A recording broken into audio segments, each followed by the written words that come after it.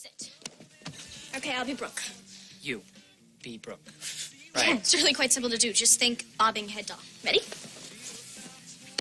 Hi, I'm Brooke. I'm a vapid, vacant, vacuous girly girl. Yeah, impressive. Uh, I think. Come in, Brett. I've decorated my desk extra special for you tonight. She doesn't have a desk. What? A girl like Brooke is not going to have a desk. I mean, it would clash with her whole bedroom motif. I mean, she'd have a, uh, she'd have a vanity over here. And a, little ribbony pillow just filled with her magic scent. Yeah, whatever. Anyways, now you come in and I'm sitting on the bed. Lying. Excuse me? Come on, you be lying on the bed. Here we go. Okay. Look, I'm Brooke, not Miss July, okay? Okay.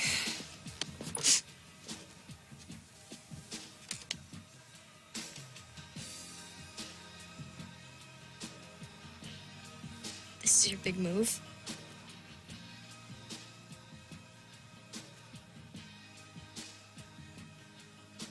Remember Crayola crayons? Huh? They had this one color. Oh, what was it called? It was um. Oh yeah, Blizzard blue. That was my favorite color in the world. And until tonight, I didn't know why. It's the very color of your eyes. My eyes. Yeah. You know, I I schedule my entire day just to get a glimpse of you.